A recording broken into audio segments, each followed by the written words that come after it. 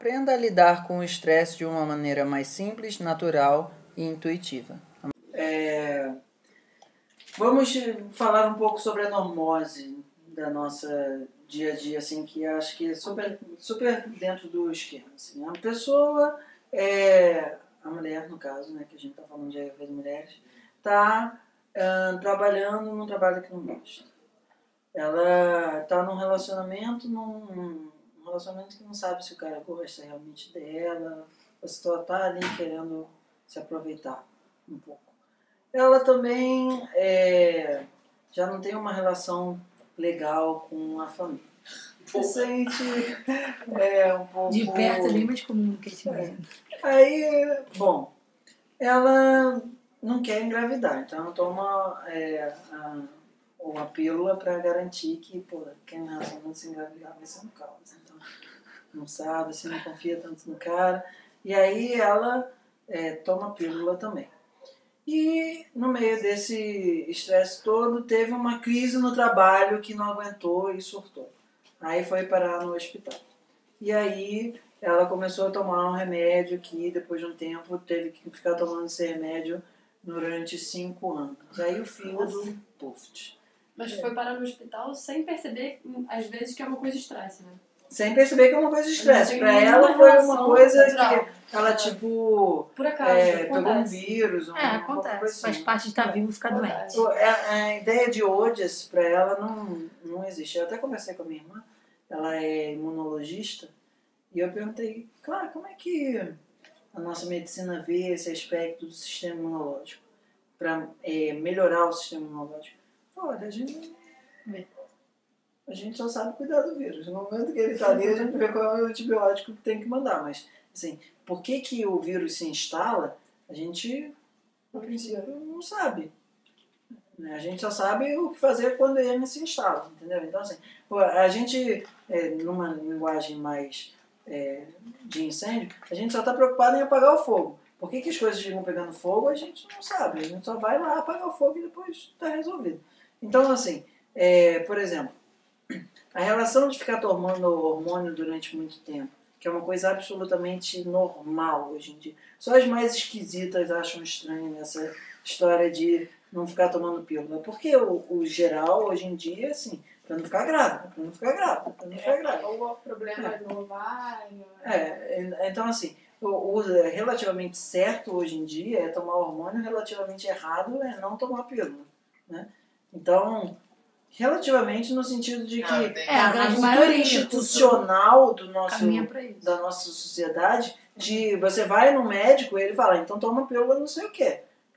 No geral, a chance é de que isso seja como assim? É, não, não existe um estranhamento na faculdade isso está sendo ensinado, né? Sim, é. sim. Não, e eles fazem uma defesa, né? De Muito forte da pílula. Fala é, da pele. Tudo que bom, assim, tudo da que pele, do peito, do peito, do cabelo. Você fica com regular o sistema hídrico. Esse livro ele fala muito assim de que uma é a experiência que essa autora Claudia Welsh fala assim, para mim o mais difícil é falar para as mulheres que a pele dela vai ficar melhor porque muitas tomam a pílula uhum. para ficar com a pele melhor. Ah, certo? Isso tem uma explicação ayurvédica, porque a pílula, em um certo sentido, está aumentando o cafa e aquilo dali está deixando mais macio. Mas a ideia é o seguinte. mais seca, né? Oi? Mais seca, as pessoas têm muito espinho, elas uhum. tomam pílula. É, tem, Aí vai ter tipo de pílula. Tá? É, Mas a, a ideia é o seguinte. Um, no Ayurveda a gente não está preocupado exatamente com a candidíase ou com o HPV ou com a herpes ou qualquer coisa assim a gente está cuidando fundamentalmente de odds, ok?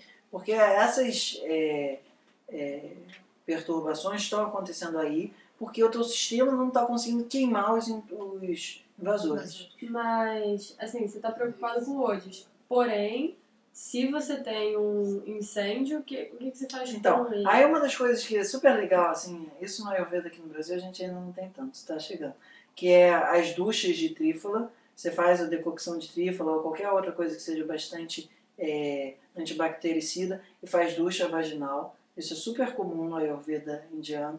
Tem uns supositórios que você é, coloca com embebido com óleo medicado para fazer medicação do útero, etc. e tal. Tem é, que faz isso também via retal, que também cuida da parte de menstruação. Existem, tem um, uma parte desse é, dessa viagem da Índia que o Dr. Gui normalmente vai lá para Pune, que a gente visita um hospital e tem os tratamentos das mulheres. Aí tem um que eu já vi que assim, a mulher senta num para tratar corrimento, isso. Senta numa cadeira que tem um buraco embaixo, nos põe uma brasinha que jogam umas ervas para queimar e a, esse calor é como se você tivesse é, sugando isso pela vagina e a, essa fumaça ela limpa e é, desidrata aquele excesso de É café. que nem fumo medicado também, que Fumo é medicado secar também, é, os do- dutos do pulmão. é.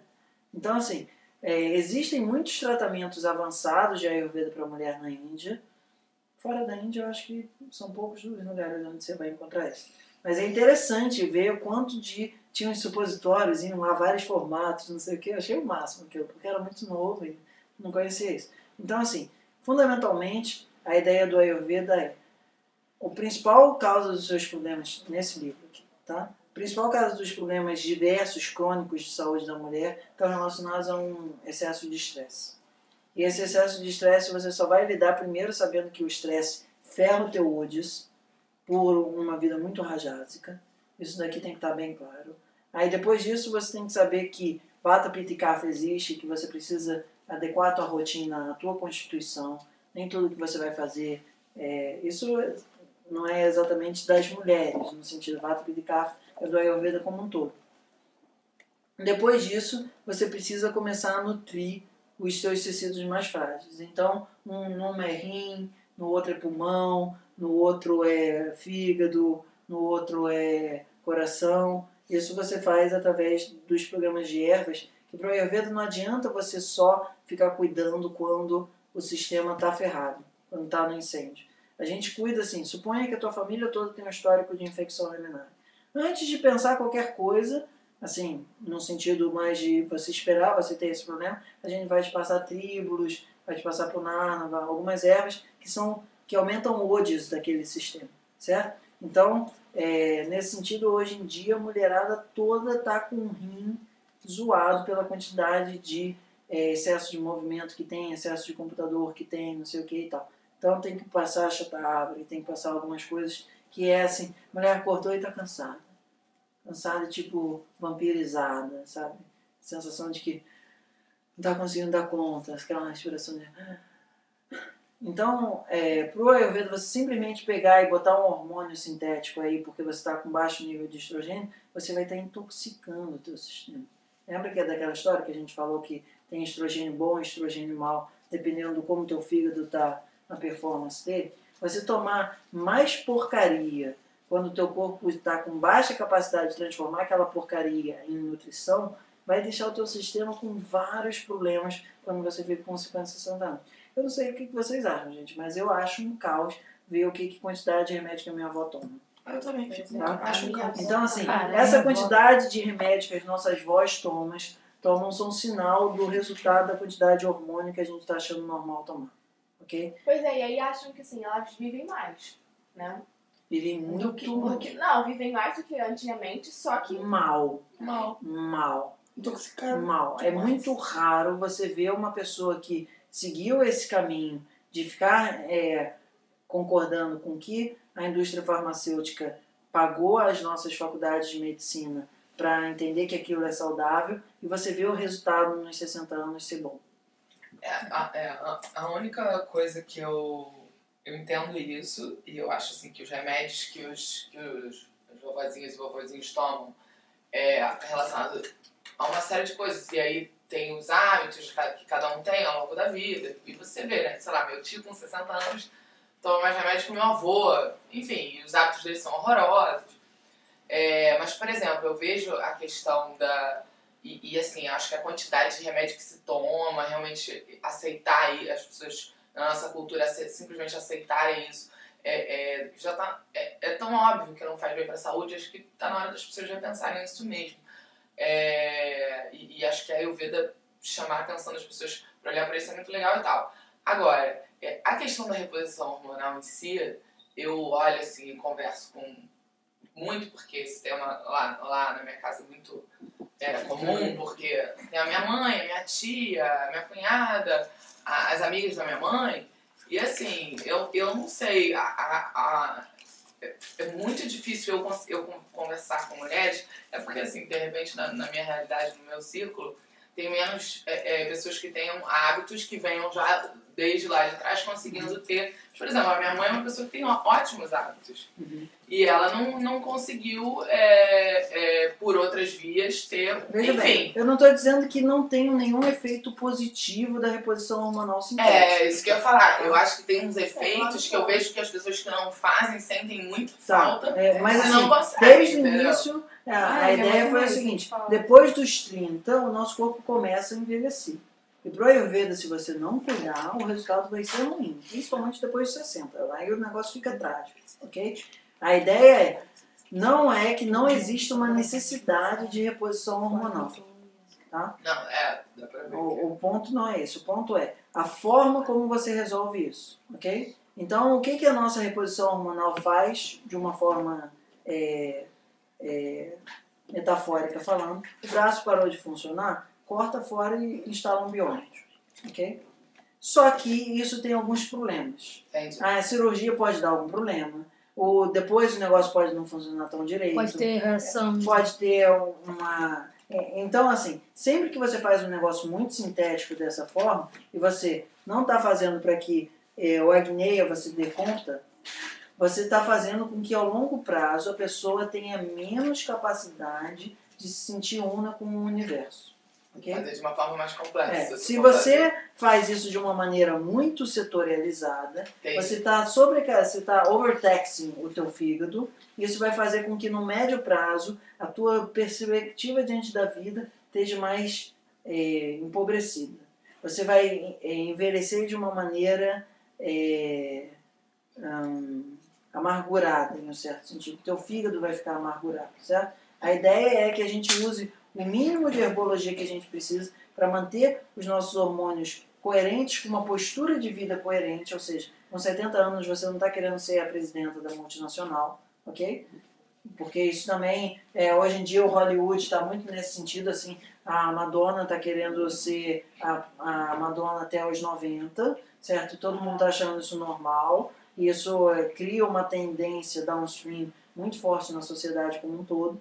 E é, esse, essa reposição hormonal que é necessária, a gente vai fazendo com chatabre, com uma erva chinesa daqui e dali, que é uma usa de uma maneira mais complexa. E não de uma maneira onde o teu sistema não consegue conversar com aquilo. Então, assim, toda a parte 2 desse livro é uma parte que eu sugiro vocês darem uma olhada, porque aí a gente vai é, ter uma capacidade de mostrar todas essas pesquisas, como é que os caras compram essas pesquisas quando querem fazer. Aí como é fácil fazer um discurso científico é, armado, tá? Não estou dizendo que tudo que a nossa ciência diz é falcatrua, não é. Mas muito fácil é, com o poder econômico que esses laboratórios farmacêuticos têm, distorcer pesquisas científicas para apontar para qualquer lado. Isso não é só de hormônio, não. Qualquer coisa de Alzheimer, qualquer coisa de Parkinson, qualquer coisa dessas coisas que a pessoa precisa ficar tomando remédio a vida inteira, a indústria química tem uma vontade muito grande de ganhar aquele dinheiro, certo? Então, é, esse livro daqui, ele tem bastante coisa sobre a saúde da mulher em termos de menstruação, é, dificuldades na, na, na menstruação, controle de natalidade, é, fertilidade e concepção, é, saúde da mama, saúde do coração, menopausa e perimenopausa e osteoporose. Alzheimer também. Tá? São uns 10 capítulos falando de um monte de coisa que daria pra gente fazer mais 3 horas e meia só sobre isso. Só pra gente fechar, eu queria citar aqui as, os sinais que ela indica de que a mulher não está bem. Feeling crummy, se sentindo assim meio, meio mal. Tá? Um, confusa ou com pensamento nublado. Algumas dores de cabeça. Dois. Três, algumas pequenas dores e incômodos. Quatro, alguns problemas digestivos como é, arroto, gás, uma sensação de queimação, constipação. alguma capacidade baixa de lidar com situação de estresse ou depressão. É, uma memória de curto prazo menor do que o comum. O se sentindo mais pesado ou mais leve é, com uma frequência muito grande. É, fadiga ou letargia. É, sintomas de fogachos, insônia e perda de apetite. Então ela fala aqui no livro, eu acho uma coisa bem legal. Se você aconteceu de sentir algum desses com frequência nos últimos tempos, é porque o teu sistema hormonal está fora de prumo. Aí ferrou. Tipo, você sente todos então, né? Tipo, ferrou? Oi, oi. Certo? Mas assim, de novo, inspira. Inspira. Todo mundo checou, tá viva, etc. Ok, vamos sobreviver, tá? É, Até a próxima consulta. é, até a próxima consulta. É, recomendo vocês lerem esse livro. Eu, me, eu que, assim, tipo, passo pouco relativamente por essas coisas. Achei riquíssimo. Ela tá, assim, super de parabéns, esse, realmente, esse livro. Ele não é tão ayurvédico, mas, assim, com essa é, colocação ayurvédica que a gente fez aqui nesse workshop, vocês lerem esse livro depois vai ser uma delícia, assim, porque vocês vão estar conseguindo ao mesmo tempo ter muito mais informação bioquímica e muito mais entendimento ayurvédico também. Coisa que às vezes talvez ficaria muito chato você ficar lendo DHEA à torta e direito. Ok? Muito bem. Então, para fechar, eu vou cantar um mantra, que minha mente já está assim. Pelo menos dá alguma sentada. Inspira. Inspira.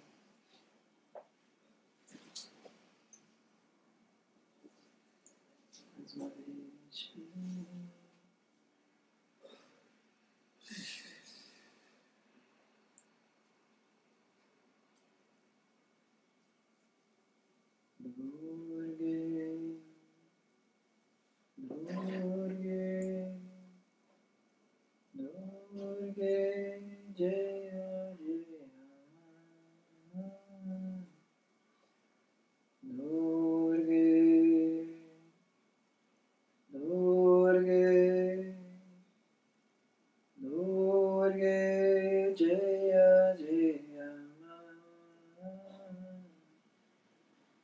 dans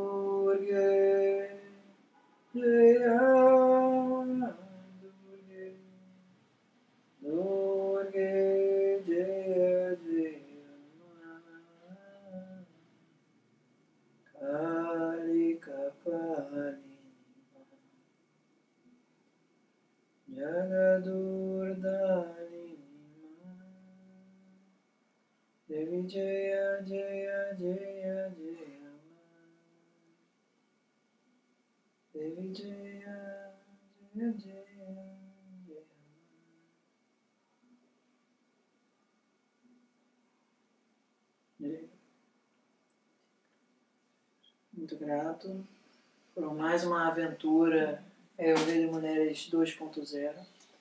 Tem um, um, um livrinho aqui que ela sugere ler que é Taking Responsibility on Your Fertility, que é sobre a ideia de fertility, que é a ideia de cuidar, de ah, aprender a cuidar da sua fertilidade de formas mais naturais.